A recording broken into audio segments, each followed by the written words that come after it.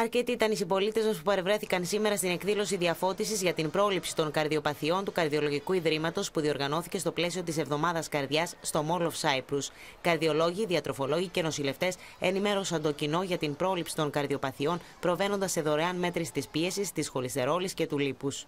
Πιστεύω ότι τα τελευταία χρόνια έγινε μια πάρα πολύ σωστή ενημέρωση του κοινού για τους κινδύνους από τα καρδιολογικά νοσήματα αλλά και πόσο εύκολο είναι να τα, τα προλάβουμε. Είναι η πρώτη αιτία θανάτου τα καρδιολογικά προβλήματα στην Κύπρο ε, και είναι πάρα πολύ σημαντικό να ενημερώνεται ο κόσμος και να προλαβαίνει.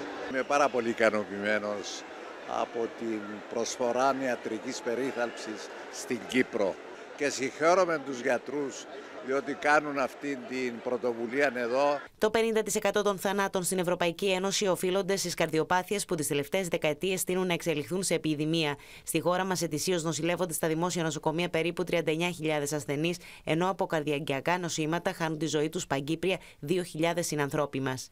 Είναι διότι ε, ο κόσμος δεν ασκείται, ο κόσμος δεν ακολουθεί ε, υγιεινή διατροφή, καπνίζει δεν ελέγχει το βάρος του, δεν ελέγχει το διαβήτη, το σάκαρο του.